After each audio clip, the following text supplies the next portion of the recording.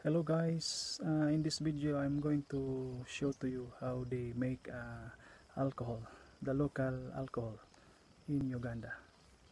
Watch out.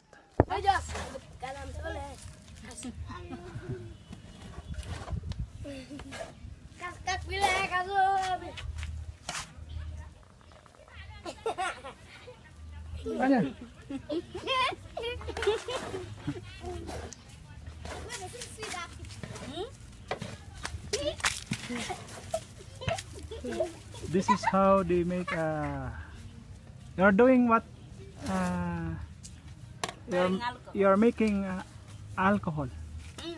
The process of making alcohol. After how many how many days? Three days. Three days. Very strong. You put where?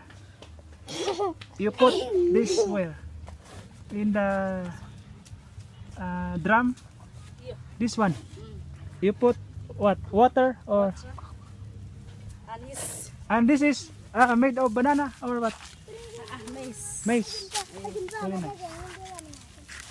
Hello. Wow. Okay. Enjoy.